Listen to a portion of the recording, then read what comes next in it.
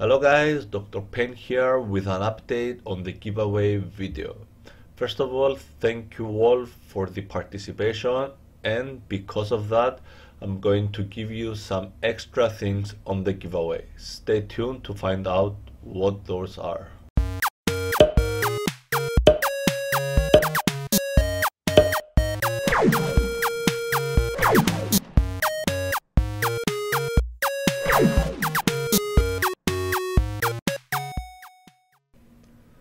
Alright, I want to say a big thank you to all of you who are currently participating in the giveaway.